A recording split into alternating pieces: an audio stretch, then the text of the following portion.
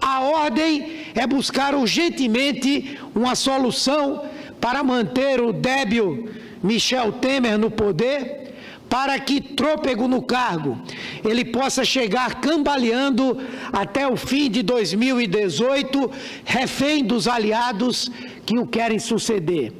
É o metagolpe, é o golpe dentro do golpe, que tem representantes no executivo, no legislativo, no judiciário, no Ministério Público, em larga parcela do poder econômico e tendo a mídia como fiadora.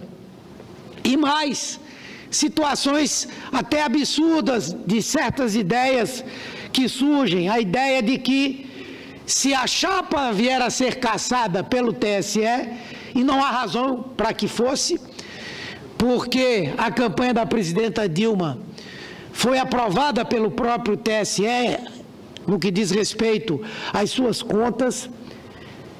Mas a novidade agora é que se a chapa for caçada, o senhor Michel Temer poderia ficar elegível e ser candidato a uma vaga pelo Congresso Nacional, ser presidente, primeiro por um golpe, e depois por um golpe dentro do golpe, e mais uma eleição na Câmara dos Deputados para que ele seja presidente.